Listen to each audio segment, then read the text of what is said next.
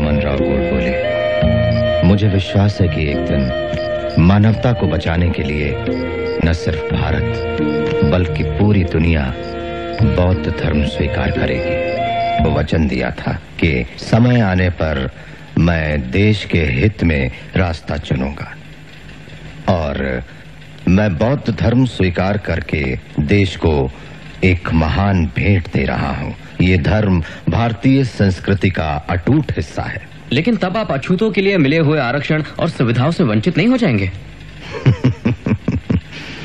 क्या ब्राह्मण इन आरक्षणों के बदले में अछूत होने के लिए तैयार हैं? हम्म? हिंदू धर्म क्यों छोड़ रहे हैं आप?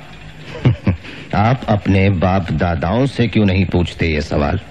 हमारी कोशिश अपने मूलभूत मानवाधिकार और आत्मसम्मान पाने की है। पर बुद्ध धर्म में क्यों?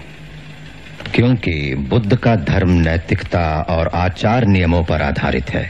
इसमें कोई जाति प्रथा नहीं क्योंकि हिंदू धर्म का सामाजिक उपदेश ही असमानता है जबकि बुद्ध धर्म का उपदेश समानता है। क्योंकि बुद्ध के उपदेश आधुनिक बुद्धि संगत और सदा समकालीन है कोई कट्टरपन नहीं।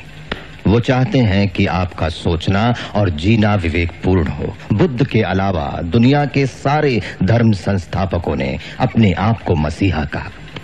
सिर्फ़ बुद्ध ही हमेशा मार्गदर्शक बनकर रहे।